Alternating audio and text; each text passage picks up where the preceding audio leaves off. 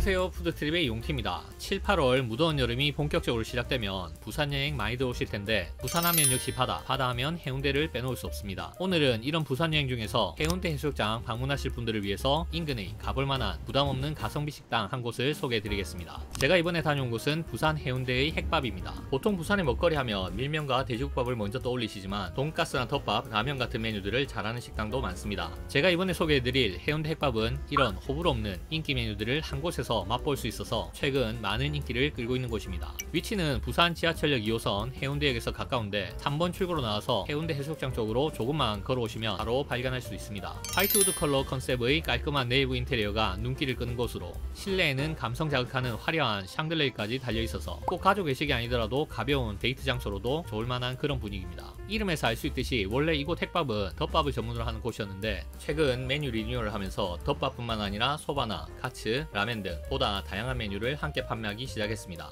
메뉴들이 추가가 되면서 서로 취향 다른 친구나 가족들과 함께 방문해서 식사하기 더 좋아진 느낌입니다. 이곳 핵밥의 대표 메뉴는 한우 대창 덮밥 정식과 큐브 스테이크 덮밥 정식입니다. 덮밥 전문점으로 시작한 곳답게 전체적으로 덮밥 메뉴의 퀄리티가 상당한 수준입니다. 한우 대창 덮밥은 도톰한 한우 대창에 매콤한 특제 비법 소스를 뿌려서 냈는데 불향을 제대로 입혀서 상당히 맛이 있습니다. 사실 대창 같은 경우에 전문점 가서 불판 깔고 양껏 먹기에는 여러모로 좀 부담스러운 메뉴이기도 한데 이렇게 덮밥으로 먹으면 대창구이를 간단히 혼밥으로도 먹을 수 있어 좋은 것 같습니다. 큐브 스테이크는 두툼하고 육즙 터지는 스테이크를 이렇게 그릇 가득 올려서 내주는데 양이나 맛 모두 기대 이상입니다. 특히 둘 다 정식 메뉴로 주문하면 치킨 가라아게를 올린 샐러드와 미니 우동, 후식으로 꿀을 뿌린 튀김떡까지 함께 내주는데 요즘같이 비싼 외식 물가에 만원 초반 인 가격에 이 구성이란 걸 생각하면 가성비는 정말 좋은 것 같습니다. 경양식 돈가스는 만원, 모짜렐라 치즈 가츠는 미니 우동과 치킨 가라게 샐러드 포함 14,500원입니다. 겉은 바삭하고 속은 육즙이 가득한 게 상당히 부드러운데 쭉 늘어나는 모짜렐라 치즈가 정말 맛이 있습니다. 돈가스 소스가 살짝 독특한데 같이 갔던 일행이 주문했던 메뉴 중에서 가장 만족했을 만큼 맛이 있는 돈가스였습니다. 이건 매운 카라이 라면 정식입니다. 라면 정식은 이렇게 돈가스까지 함께 먹을 수 있는데 라면에 돈가스